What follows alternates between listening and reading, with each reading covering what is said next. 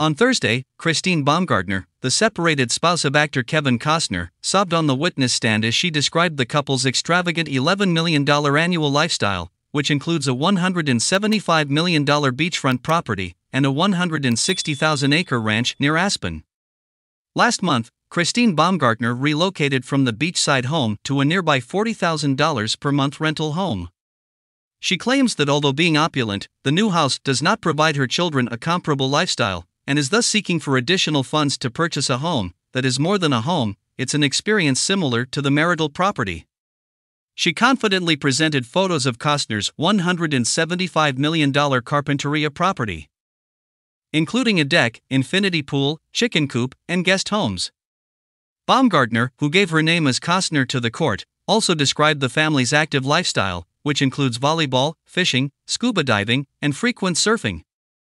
Although Costner exhibited great composure throughout the majority of her evidence, she occasionally showed signs of emotion and broke down in tears when the subject of the couple's Aspen ranch came up.